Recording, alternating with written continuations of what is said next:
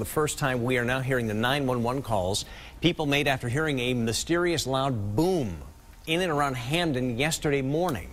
Here's what some of them told police. I'm in the kitchen and I just heard this loud explosion rattle the windows.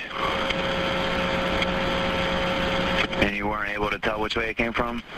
No, have no idea. The whole back side of my house, it felt like there was like a like a percussion, like something, I don't know, somebody hit something, something exploded. There was a loud explosion, a loud enough to shake this building. I'm just sitting here having coffee, and next thing you know, boom! Okay. The whole building shook. I felt that before.